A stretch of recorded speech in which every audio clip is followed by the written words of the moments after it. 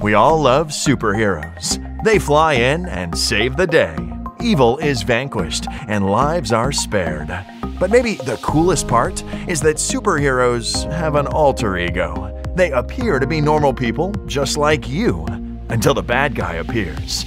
Now, unfortunately, while superheroes may not be real, bad guys are, which is why you're watching this video. There are bad guys among us, and some commit horrible acts of violence. Our job is to help you understand this problem better and train you how to recognize and prevent a violent act. We'll also show you how, in a worst case scenario, to mitigate against the disaster and survive, and maybe save some other people along the way. That's the stuff heroes are made of. Threat Shield 5 is the only active shooter training program that stresses warning signs, de escalation, and prevention.